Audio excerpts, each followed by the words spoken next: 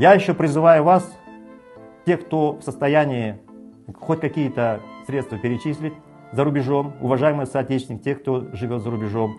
Есть фонд Барлока Миндагазиева, Freedom Казахстан, Свободный Казахстан. Мы его реквизиты публикуем. Сам Барлок живет в Америке.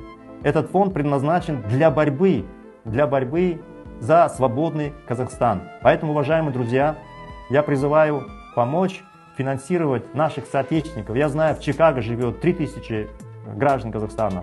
Я знаю, что в Нью-Йорке живет больше. Наших людей десятки тысяч за рубежом.